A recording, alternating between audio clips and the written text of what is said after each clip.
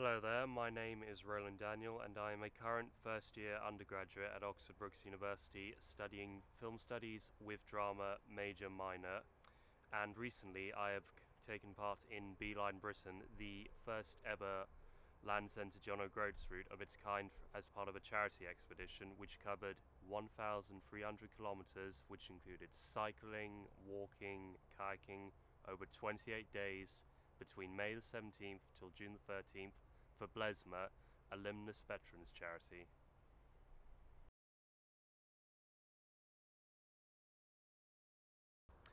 Midway through my first year, I'd reached a point from what I'd learnt on my modules that I became very keen on seeking out a work placement module.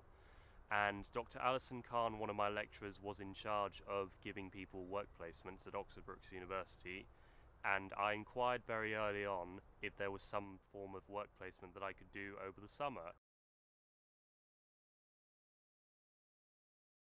Someone was needed to sort of learn the ropes basically and help carry a camera equipment and shoot a few things and it was back in about early May that I received the offer and I said yes to it and then it all took off from there basically.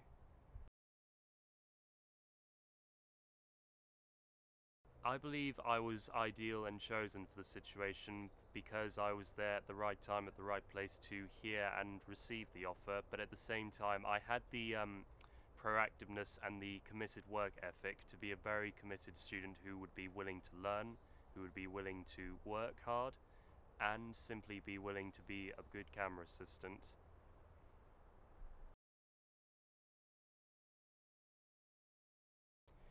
Our grand total that we are trying to raise is 20,000. We have currently raised over 14,500 and we are still fundraising as we currently speak.